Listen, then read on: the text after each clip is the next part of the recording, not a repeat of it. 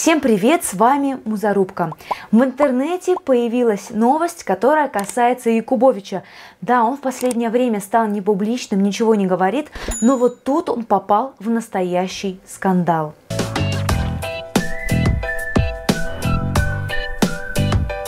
Дело из-за его программы «Поле чудес».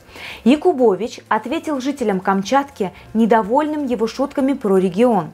Во время одного из новых выпусков «Поле чудес» участница из Камчатки надела на телеведущего национальную шапку Малахай и бусы из рыбы корышки. Очень необычно, кстати, получился наряд.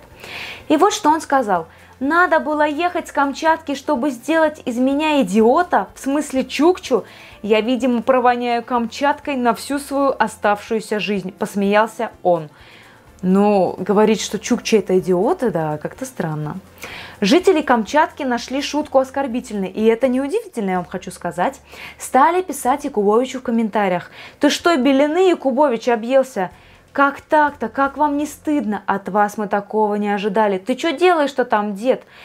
Леонид Якубович решил не молчать, и он ответил всем зрителям «Поле чудес».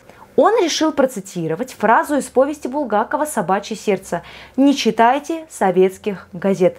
Люди этот ответ не поняли и до сих пор ждут его извинений и пишут в комментариях, что это значит, какие газеты советские, ты что совсем сбрендил, ты это сказал на своей программе, ты оскорбил всю Камчатку, всех чукчи, да что ты творишь, программа уже не та, что была раньше. А Якубович сказал, что у него уже глаза на лоб лезут после слухов о его смерти, и он пошутил, что специально раскопался из могилы, чтобы дать интервью и ответить жителям Камчатки. Я в шоке. Что происходит с Якубовичем? Может, он просто психанул?